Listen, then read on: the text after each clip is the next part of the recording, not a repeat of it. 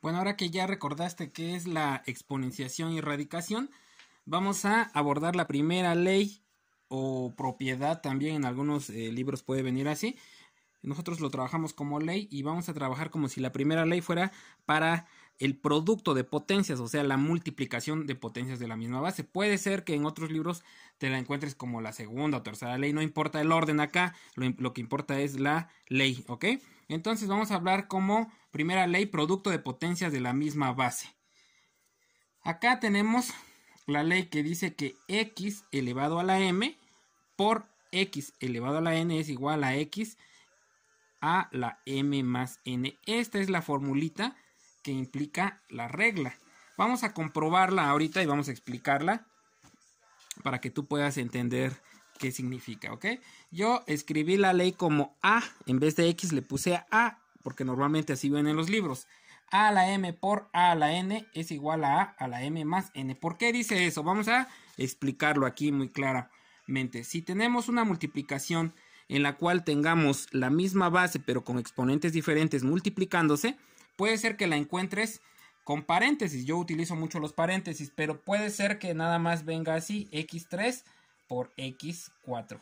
Siempre y cuando estén unidas estas juntas, estas, este, estas dos expresiones, indican una multiplicación. O puede ser que la encuentres como x a la 3 y un puntito. Y luego aquí x a la 4. Eso también es una multiplicación. O quizá lo encuentres así con un asterisco. De cualquiera de estas formas implica que se están multiplicando. Y si se están multiplicando, entonces significa lo siguiente.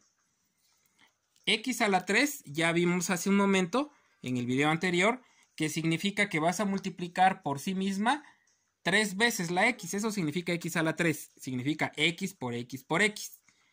x a la 4 entonces significa que vas a multiplicar por sí misma la x cuatro veces, x por x por x por x. Por lo tanto, si vas a multiplicar x a la 3 por lo que vale x a la 4, tendrías una multiplicación así. Y entonces, ¿cuántas x estás multiplicando entre sí? Pues tienes 3, 4, 5, 6, 7. Es como si estuvieras multiplicando 7 veces la misma x. Por eso es que el resultado yo lo puedo escribir como x a la 7. ¿Sí? ¿Y de dónde salió este 7? De sumar 3 más 4, estos 3 más estos 4. Por eso es que se está cumpliendo esta ley. ¿Sí? El exponente, el número o la base y el exponente sumas los dos que tienes acá y ese va a ser el resultado. Ahora vamos a hacer el otro ejemplo. Tienes x elevado a la 5 y multiplicado por otra x.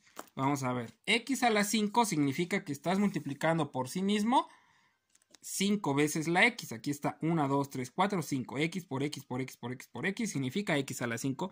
Pero lo vas a multiplicar por una x más. Entonces, aquí está una x más. Finalmente es como si tuvieras x multiplicado 1, 2, 3, 4, 5, 6 veces por sí misma. O sea que el resultado aquí sería x a la 6. ¿Y de dónde salió este 6? Salió de sumar 5 más. ¿Más quién?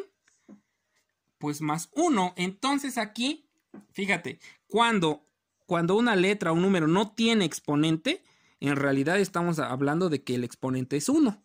¿Sí? Cuando, cuando no, no se escribe un exponente, por default siempre vamos a tomarlo como exponente 1. Porque entonces, porque entonces estamos, estamos tomando en cuenta que es un elemento el que está acá.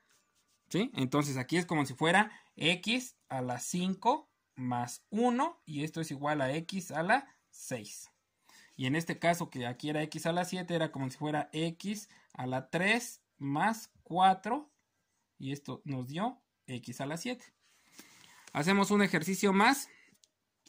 Aquí lo tenemos, estos son los ejercicios eh, que vienen en su, en su complemento que les mandé.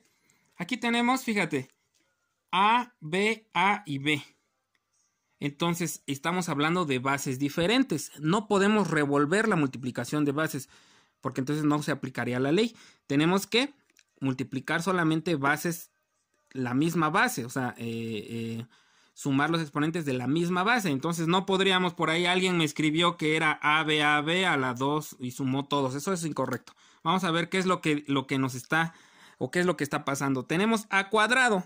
Entonces es como si yo tuviera A por A. Esta. Luego tengo por B a la, a la 3 o B al cubo. B al cubo es como si yo tuviera B por B por B tres veces. Aquí lo tengo. ¿Sí? Y luego tengo A4. A la 4 es como si yo tuviera A por A por A por A. Y luego tengo B al cuadrado, es como si tuviera yo B por B. Todas estas se están multiplicando. Todas aquí las voy a ir ordenando así porque se están multiplicando. Primero tenemos A2, luego tenemos esta de B a la 3, luego A a la 4 y B cuadrado. Pero solamente voy a sumar las que tengan la misma base, porque la ley solamente se refiere a, los que tengan la misma base. Entonces solamente tomaría yo estos, estos dos A, A por A, con estos de acá, y estos de B por B con estos de acá, así. Y finalmente, ¿cuál, cuál sería el resultado? Finalmente, ¿cuál sería el resultado? Pues acá tengo a por A por A por A por A por A. Dos veces más otras cuatro serían seis. Acá tengo A6. Y de este lado tengo 1, 2, 3, 4, 5 también. Perdón, 5B a la 5, ¿no? Sería B elevado a la 5. A a la 6 por B a la 5. Entonces el resultado aquí en realidad sería A a la 6, B a la 5. ¿Y qué fue lo que hicimos? Tomamos por separado esta A cuadrada con esta A cuarta y aplicamos la ley 2 más 4, 6 me dio A6. Y como se están multiplicando por las B, pues las B las junté estas tres, estas B a la 3 con esta B a la 2 y hice una sola. Y finalmente estas dos se siguen multiplicando, pero así quedaría. Bueno, espero que estés entendiendo esta parte. Vamos con la segunda ley la división de potencias de la misma base. Y esta es la regla, o esta es la ley que dice a elevado a la m entre a elevado a la n es igual a a la m menos n. Ahora vamos a restar los exponentes. Y aquí teníamos unos ejemplos muy prácticos que decía x a la 5 entre x al cuadrado es igual a x a la 5 menos 2. Y el resultado daba x a la 3. Así de sencillo. Ahora vamos a ver qué significa eso. Solamente estamos haciendo este video para resolver dudas, ¿ok? Yo sé que muchos de ustedes ya lo entendieron.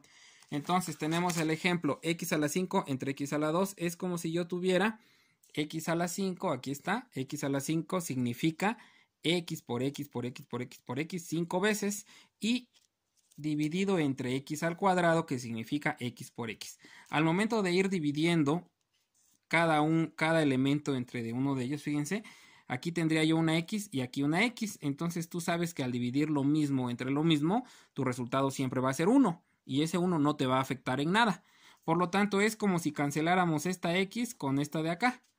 Y luego, esta de acá, como si se cancelara con esta, porque me va a dar 1 acá, 1 acá y 1 acá. Y ese 1 no me va a afectar.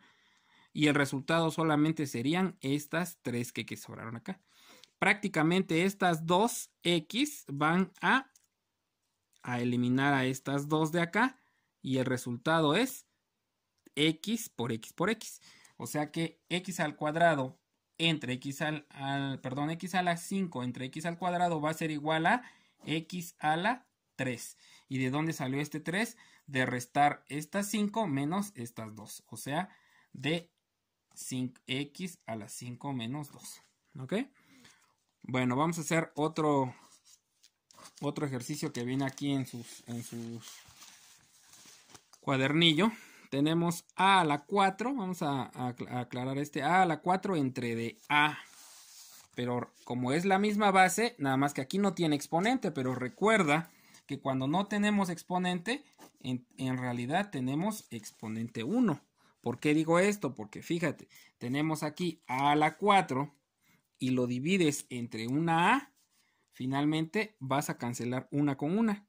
Esta que está acá con esta. ¿Y cuántas te van a quedar? Tres. O sea que esta se cancela con una de estas. La voy a tapar así. Y fíjate, me quedaron solamente tres. O sea que A a la 4 entre de, puedes utilizar también este símbolo. Entre de A es igual a A a la 4 menos 1. Y esto es igual a a la 3. El resultado final es a la 3. Pero vamos a tomar como exponente 1 cuando no tenga exponente. Ojo con eso. Y bueno, aquí tenemos eh, varios ejercicios que tú vas a resolver. Ya entendiste qué es lo que está ocurriendo. Vamos a hacer este último m a la 6 entre m3, que es lo que está pasando. Y aquí lo vamos a hacer directamente. m a la 6 es como si tuvieras acá m por m por m por m por m por m 6 veces. Y al dividirlo entre de m a la 3, estaríamos haciendo esto. Estas 3 se van a cancelar con estas 3 y solamente te quedarían 3. ¿Sí? O sea que sería 6 menos 3. 2. 6 menos 3 sería 3. El resultado sería m a la 3.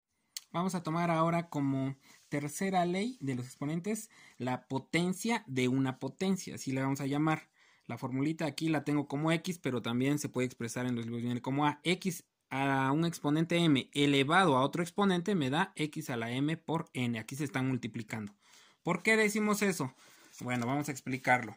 Aquí yo, lo, yo escribí la regla de esta forma porque es muy común en los libros encontrarlo así. a elevado a la m y todavía lo vas a elevar a otra potencia, por eso decimos que es potencia de una potencia, porque de por sí ya esto es una potencia y lo vas a elevar a otra potencia.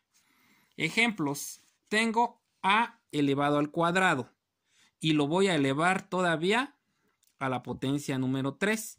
Entonces, ¿qué significa a al cuadrado? Tú sabes que a al cuadrado significa multiplicar por sí mismo el a, entonces tengo a por a. Aquí está. Pero si esta a por a todavía la vas a elevar al cubo, significa que vas a multiplicar tres veces por sí mismo esto. Entonces voy a tener otra igual y otra igual. Así.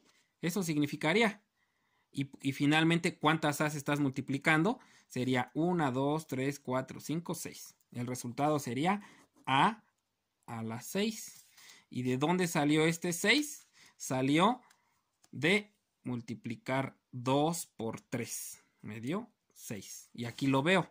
¿Por qué? Porque es como si tuviera yo A por A acá, esta, y a la 3 significa 3 veces lo mismo. ¿Sí? Vamos a ver, aquí hacemos un ejemplo más para que vayas entendiendo. X a la 4 elevado a la potencia 3. X a la 4 tú ya sabes que es multiplicar por sí mismo la X. Aquí está. Aquí tengo X por X por X por X. Ahí está. Eso significa X a la 4. Pero lo voy a elevar a la 3 significa que voy a multiplicar por sí mismo tres veces esto que está acá. Entonces aquí tengo otra vez multiplicando y aquí tendría yo otra vez más, fíjate. Finalmente, ¿cuántas x vas a tener? Tendría yo 1, 2, 3, 4, 5, 6, 7, 8, 9, 10, 11, 12, que es lo mismo de multiplicar 3 por 4, ¿no? Aquí 4 por 3 o 3 por 4. Entonces el resultado aquí sería x a la 4 por 3, 12. Ese es el resultado. Y bueno, así de sencillo eh, se utiliza esta regla y tú aquí tienes algunos ejercicios que resolver. Aquí tenemos, por ejemplo, en el inciso H, t al cuadrado, t2 elevado a la potencia 5 sería t2 por 5, 10, t a la 10 m a la 5 elevado a la potencia 2 sería m a la 5 por 2, 10. m a la 10. Bueno, y en esta parte también hubo algunas eh, dudas que se tenía que hacer. Dice, anota el valor del exponente en cada caso. Aquí ya, por ejemplo, dice que x a la m elevado a la 4 es igual a x a la 8. Tú tenías que encontrar cuánto tiene que valer m para que aquí te dé 8. Pues está fácil tendría que valer 2 para que 2 por 4 te dé 8. Por lo tanto, m vale 2. Porque 2 por 4 te da 8. A a la 5 elevado a la potencia m, no sabes cuánto vale m, pero tú sabes que el resultado es 20. Entonces, 5 por qué número te va a dar 20? 5 por 4, 20. Por lo tanto, m vale 4, porque 5 por 4 me da 20. Y así de, de sencillo tú encuentras aquí los valores que tienen que, que tener estos para, para que se cumpla estos exponentes. ¿Ok?